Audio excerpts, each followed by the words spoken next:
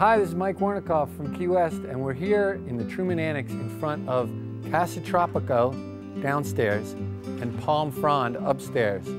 Each one is a two bedroom, one bath townhome that has one queen in the first bedroom, two twins in the second bedroom, a living room, dining room, full kitchen, rear deck with a barbecue grill.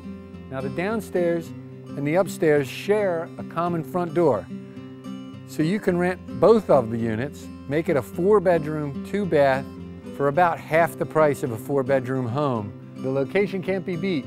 We're a five minute walk to Mallory Square down at the end of Duval Street, five minutes in the other direction and you're at the water's edge at Fort Zachary Taylor, and we're two blocks to Duval Street. Come on in, we'll show you what the place looks like.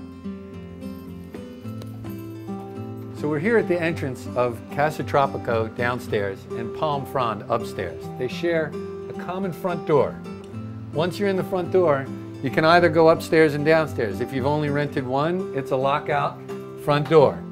If you rented both and you want to use the unit as a four bedroom, two bath, you can leave the front door closed and be able to walk in and out, go from upstairs to downstairs. If the kids are sent to bed early and the parents want to stay up and socialize, there's a little level of privacy that you're not going to wake everybody up.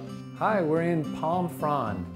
Palm Frond is a two bedroom, one bath shipyard townhome. And Palm Frond is very unique. Just like the downstairs from Palm Frond, which is Casa Tropico, these units are laid out widthwise instead of lengthwise. So they have two sets of French doors off of the back that go out to your private balcony, and two sets of French doors on the front that go out to the front balcony.